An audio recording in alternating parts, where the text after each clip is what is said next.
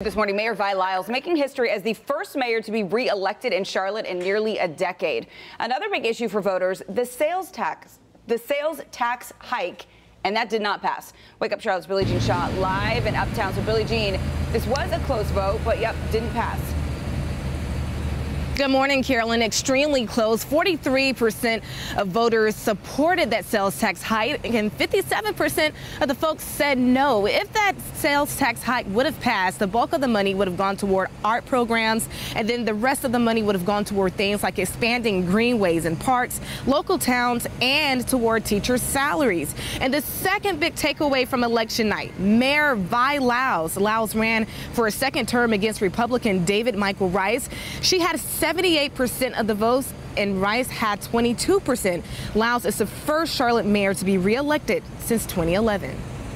I truly believe that Charlotte can actually solve the problems that many other cities have not even started to address. And Lyles will be sworn in for her second term next month. Reporting in Uptown, Billie Jean Shaw, Wake Up Charlotte. Billie Jean, thanks. As for City Council, it was a good night for some familiar faces. Mayor Pro Tem Julie Eiselt reelected. Other at-large council members include uh, Braxton Winston, James Smuggie Mitchell, and Dimple Ajmera. Tariq Bokhari reelected in South Charlotte, and former State Senator Malcolm Graham will now serve North Charlotte. New